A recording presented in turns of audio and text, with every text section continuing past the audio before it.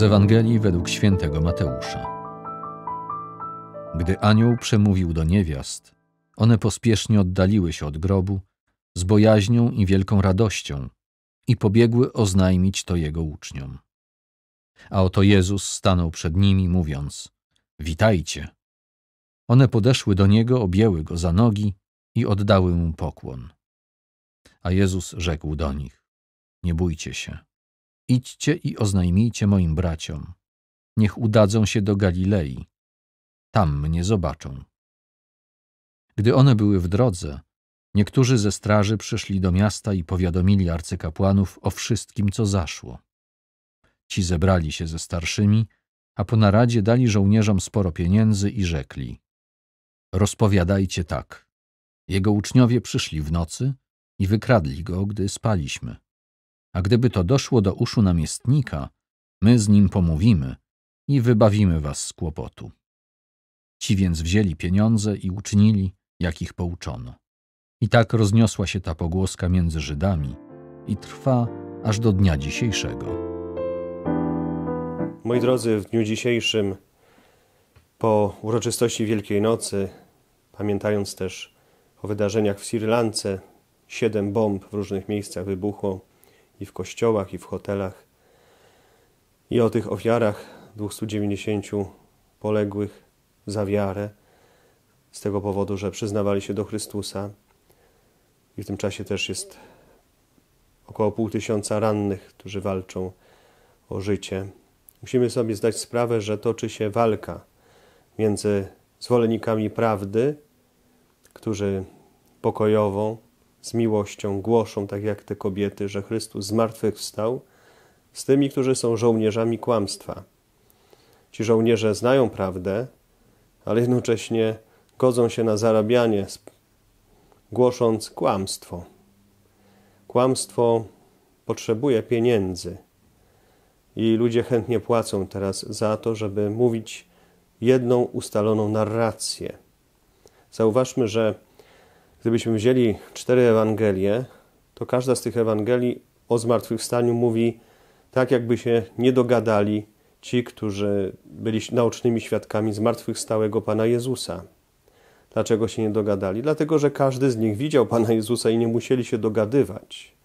Gdyby natomiast wymyślili sobie opowieść o zmartwychwstaniu, tak jak wymyślili to właśnie ci, którzy powiedzieli do żołnierzy, że właśnie to arcykapłani, elity żydowskie wymyśliły pewną narrację, pewne opowiadanie, nauczyli tych żołnierzy, jak mają opowiadać, żeby były takie same zeznania, że to jest problem uczniów, że wykradli ciało, gdyśmy spali i wszyscy mówili jednym głosem.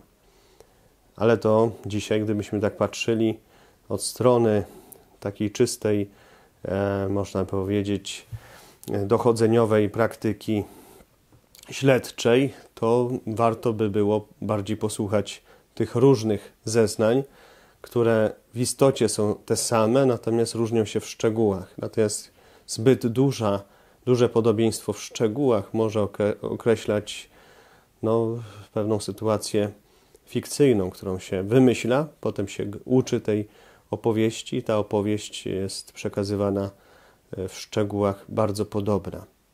I dzisiaj warto sobie tak uświadomić, że żyjemy w świecie, który również próbuje stworzyć pewną narrację, bardzo taką oficjalną, przygotowaną przez pewne centra antyewangelizacji, centra, które są przeciwko Chrystusowi, przeciwko Jego uczniom. I dzisiaj, kiedy tak słuchamy o tej pogłosce, która wydawałoby się powinna po dwóch tysiącach lat być już nieaktualna, ta pogłoska żyje własnym życiem. No nie jest tak do końca, że kłamstwo musi umrzeć prędzej czy później.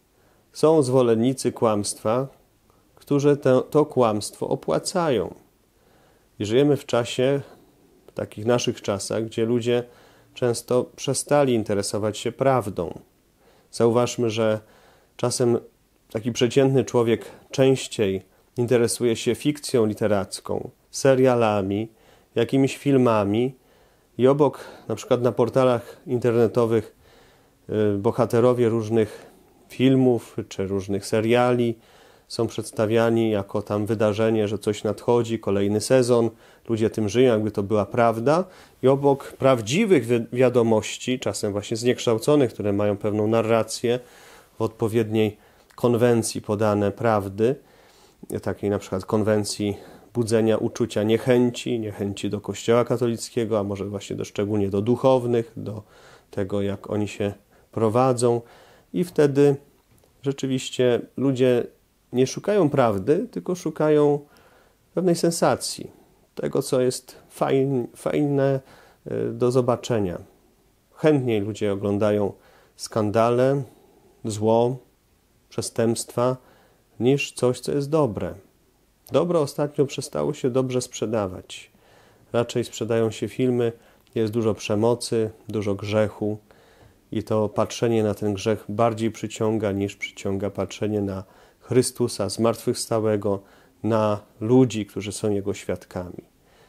Dzisiaj, moi drodzy, warto też przypomnieć w naszym sanktuarium księdza Jerzego Popiełuszkę, który tak bardzo walczył o to, żeby jednak nie słuchać narracji oficjalnej, komunistycznej, marksistowskiej, zbudowanej na Heglu, który, kiedy mu zwracano uwagę, że no cóż, rzeczywistość jest inna niż to, co jest w Twojej teorii, to odpowiedział tym gorzej dla rzeczywistości. Ważna jest moja narracja, moja teoria, mój sposób rozumienia świata, a świat musi się do tego dostosować, nie ja do świata. Starożytna definicja prawdy, veritatis est adequation in re, czyli prawda jest przyporządkowaniem do rzeczywistości. Dzisiaj raczej ta definicja staje się pod dużym znakiem zapytania, czy, czy ludzie za taką definicją prawdy idą, czy stają się lektorami i odkrywają, jaka jest rzeczywistość i nazywają tę rzeczywistość, to odkrycie właśnie jako prawda, czy zamiast odkrywać rzeczywistość, najpierw ustanawiają, co ma być prawdą, a potem dostosowują rzeczywistość do tego, co ustalili. Może przez tak zwany konsensus, poprzez porozumienie, czyli głosowanie większości. Większość ustala, że na przykład zabicie dziecka przed jego urodzeniem jest dobre i dla dziecka, i dla matki, co oczywiście, gdybyśmy popatrzyli obiektywnie, patrząc jako lektorzy, czytający tę rzeczywistość, widzimy, że tak nie jest. Jest dokładnie odwrotnie. Ale jeżeli człowiek nie chce być lektorem, tylko kreatorem prawdy, to stanie się kreaturą, jako ten, który stworzy no, totalitarne państwo, totalitarną społeczność, gdzie nakaże się e, właśnie wyznawanie takiej prawdy, którą wcześniej jacyś ważni dzisiejsi arcykapłani ustalą. I zobaczmy, że te prawdy wiary chrześcijańskie, jak ta świątynia na przykład w Sri Lance została wyburzona, czy płonąca katedra Notre Dame w Paryżu, tak dzisiaj te dzisiejsze prawdy stara się podpalić, żeby e, w tak zwanej dyktaturze relatywizmu uważać, że Kościół, który głosi niezmienne prawdy, wiary i moralności, one już nie obowiązują. Ale na miejsce tego zburzonego e, systemu prawd i tej hierarchii wartości pojawią się dyktatury. Wtedy nakaże się pewną narrację. Jeżeli ktoś się tej narracji nie będzie trzymał, będzie penalizowany, będzie eksterminowany, będzie zamykany w więzieniu, w różnych obozach koncentracyjnych, tak jak to miało miejsce za czasów socjalizmu narodowego, a wcześniej za czasów socjalizmu komunistycznego e, w Związku Sowieckim. Także dzisiaj no, neomarksizm może się przerodzić właśnie w formę prześladowania chrześcijan tylko dlatego, że nie będą chcieli uznać na przykład zabijania dzieci narodzonych, związków jednopłciowych, nie będą chcieli uznać na przykład e, różnych innych płci, edukacji dzieci, tego, że mają się uczyć, jak zadowalać się seksualnie.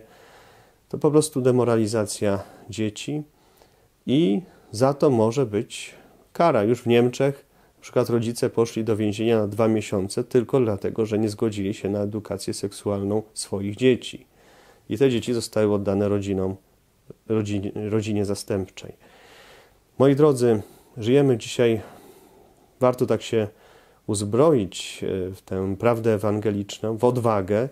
I tak na koniec, jak już mówiłem, chciałem przypomnieć słowa księdza Jerzego Popiełuszki na temat prawdy, bo już e, nasz wieszcz narodowy, Cyprian Kamil Norwid, napisał: Kto prawdę mówi, ten niepokój wszczyna.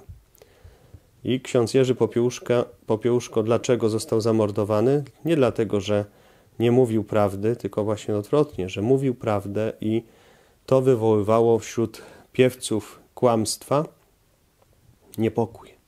Chciano uciszyć na różne sposoby, aż w końcu odebrano mu życie. Ksiądz Jerzy Popiełuszko na mszy świętej za ojczyznę 27 lutego 1983 roku powiedział Postawmy życie w prawdzie na pierwszym miejscu jeżeli nie chcemy, by nasze sumienie porosło pleśnią. W roku, w którym został zamordowany, oddał życie, w 1984 w styczniu na mszy świętej za ojczyznę 29 stycznia powiedział znamienne słowa, jakby przewidując, ile musi kosztować to jego głoszenie prawdy. Zachować godność to być sobą w każdej sytuacji życiowej, to stać przy prawdzie, choćby miała wiele kosztować, bo prawda wypowiadana w słowie kosztuje. Tylko za plewy się nie płaci. Za pszeniczne ziarno prawdy trzeba zapłacić. Każda rzecz, każda sprawa wielka musi wiele kosztować i musi być trudna. Tylko rzeczy małe i liche są łatwe. W dniu, kiedy został porwany, czyli 19 października 1984 roku, w rozważaniu różańcowym powiedział takie słowa, które były słowami księdza prymasa Wyszyńskiego. Od wieków trwa nieprzerwanie walka z prawdą. Jak powiedział zmarły prymas kardynał Wyszyński, ludzi mówiących w prawdzie nie trzeba wielu. Chrystus wybrał niewielu do głoszenia prawdy, tylko słów kłamstwa musi być dużo, bo kłamstwo jest detaliczne i sklepikarskie. Zmienia się jak towar na półkach. Musi być ciągle nowe, musi mieć wiele sług. Goebbels mówił: Plujmy, plujmy, coś z tego zostanie. Kłamstwo powiedziane tysiąc razy staje się mentalności ludzkiej prawdą, bo tak wszyscy mówią. Powtarzanie kłamstwa wprowadza w umysł człowieka przeświadczenie, że to jest prawda.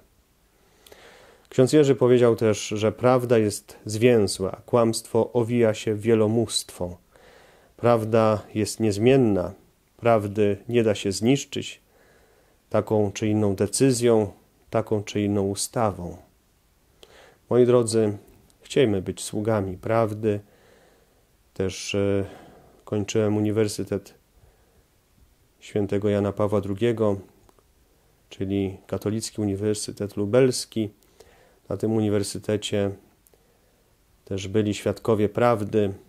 Myślę, że dzisiaj potrzeba na nowo też modlić się za ten uniwersytet, aby nie utracił swojej godności. Módlmy się też za księdza profesora Tadeusza Guza, który przeżywa też różnego rodzaju zmagania z tymi, którzy próbują go uciszyć.